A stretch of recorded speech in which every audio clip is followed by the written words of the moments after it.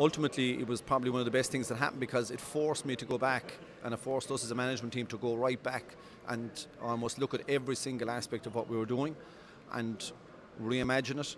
Uh, you know, move the chairs around. You know, we didn't necessarily get, you know, let anybody go. We just moved people around into different roles because we we, I got to know everybody better and I knew where their strengths were, and we just put their strengths to, to play in a, in a different area and, and it had uh, it had immediate results. You know, uh, Jimmy Quilty went with the with the goalkeepers that year, um, made a huge a huge impact there. You know, Sean O'Donnell came in to us. You know, there was a number of things happened. And I suppose ultimately we just had the hard work done in 2017 and we just needed to build on that uh, into 2018 and get a bit of confidence. And we got a, we actually got a lot of confidence out of winning the Munster Co- uh, Superstores uh, League that year.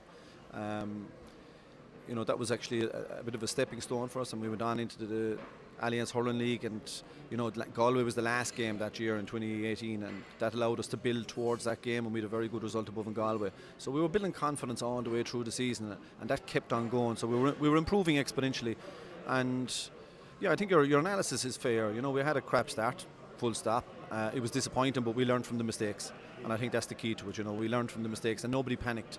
Uh, the county board didn't panic we didn't panic as a management team.